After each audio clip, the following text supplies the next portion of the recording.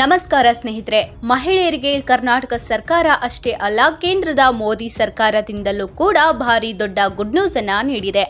ಕೇಂದ್ರ ಸರ್ಕಾರವು ದೇಶಾದ್ಯಂತ ಎಲ್ಲಾ ಹಳ್ಳಿಗಳಲ್ಲಿ ಇರುವ ಮಹಿಳೆಯರಿಗಾಗಿ ಹೊಸ ಯೋಜನೆ ಘೋಷಿಸಲಾಗಿದೆ.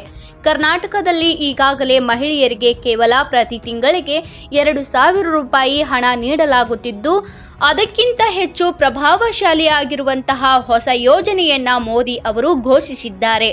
ಮಹಿಳೆಯರ ಸರ್ವತೋಮುಖಾಭಿವೃದ್ಧಿಗಾಗಿ, ಆರ್ಥಿಕ ಸಬಲೀಕರಣದ ಉದ್ದೇಶದಿಂದಾಗಿ ಮಹಿಳೆಯರ ಖಾತೆಗಳಿಗೆ ಲಕ್ಷಾಂತರ ಹಣ ನೀಡುವ ಹೊಸ ಯೋಜನೆ ಘೋಷಣೆಯನ್ನ ಮಾಡಿದ್ದಾರೆ. ಆದರೆ ಇದು ಕೇವಲ ಹಳ್ಳಿಗಳಲ್ಲಿ ಇರುವಂತಹ ಮಹಿಳೆಯರಿಗೆ ಮಾತ್ರ ಅನ್ವಯಿಸುತ್ತದೆ. ಹೌದು, ಕೇಂದ್ರ ಸರ್ಕಾರ ಮಹಿಳೆಯರಿಗೆ ಸಿಹಿ ಸುದ್ದಿ ನೀಡಿದ್ದು ಹೊಸ ಯೋಜನೆ ಘೋಷಿಸಿದೆ. ಮಹಿಳೆಯರ ಸಬಲೀಕರಣದ ನಿಟ್ಟಿನಲ್ಲಿ ದೇಶಾದ್ಯಂತ ಹಳ್ಳಿಗಳಲ್ಲಿ ಎರಡು ಕೋಟಿ ಲಖಪತಿ ದೀದಿಗಳನ್ನು ಮಾಡಲು ಕೇಂದ್ರ ಸರ್ಕಾರ ಯೋಚಿಸುತ್ತಿದೆ ಎಂದು ಪ್ರಧಾನಮಂತ್ರಿ ಮೋದಿ ಅವರು ಮಂಗಳವಾರ ಪ್ರಕಟಿಸಿದ್ದಾರೆ. ಈ ಯೋಜನೆಯು ಎರಡು ಕೋಟಿ ಮಹಿಳೆಯರಿಗೆ ಕೌಶಲ್ಯ ಅಭಿವೃದ್ಧಿ ತರಬೇತಿಯನ್ನು ಉತ್ತೇಜಿಸುವ ಮತ್ತು ತಮ್ಮದೇ ಆದ ಸ್ವಂತ ಸಣ್ಣ ವ್ಯವಹಾರಗಳನ್ನು ಪ್ರಾರಂಭಿಸಲು ಪ್ರೋತ್ಸಾಹಿಸುವ ಗುರಿಯನ್ನ ಹೊಂದಿದೆ. ಪ್ರಧಾನಿ ಮೋದಿ ಹಳ್ಳಿಗಳಲ್ಲಿ ಎರಡು ಕೋಟಿ ಲಖಪತಿ ದೀದಿಗಳನ್ನ ಮಾಡುವುದು ನನ್ನ ಕನಸು.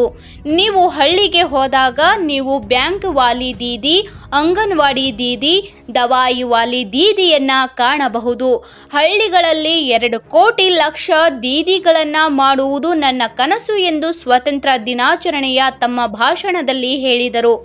ಲಖ್ಪತಿ ದೀದಿ ಯೋಜನೆಯನ್ನ ಈಗಾಗಲೇ ಕೆಲವು ರಾಜ್ಯಗಳಲ್ಲಿ ಪ್ರಾರಂಭಿಸಲಾಗಿದ್ದು, ಕೆಲಸದ ಪ್ರತಿಯೊಂದು ಕ್ಷೇತ್ರದಲ್ಲೂ ಮಹಿಳೆಯರು ಅಭಿವೃದ್ಧಿ ಹೊಂದುವ ಅಗತ್ಯವನ್ನ ಒತ್ತಿ ಹೇಳಿದ ಅಧಿಕಾರಿ, ಲಖ್ಪತಿ ದೀದಿ ಯೋಜನೆಯಲ್ಲಿ ಭಾಗವಹಿಸುವ ಮಹಿಳೆಯರಿಗೆ ಪಬ್ಲಿಂಗ್ ಲೆಡ್ ಬಲ್ಬ್ ತಯಾರಿಕೆ, ಡ್ರೋನ್ಗಳನ್ನು ನಿರ್ವಹಿಸುವುದು ಹಾಗೂ ದುರಸ್ತಿ ಮಾಡುವುದು ಸೇರಿದಂತೆ ಕೌಶಲ್ಯಗಳಲ್ಲಿ ತರಬೇತಿ ನೀಡಲಾಗುವುದು ಎಂದು ಹೇಳಿದರು.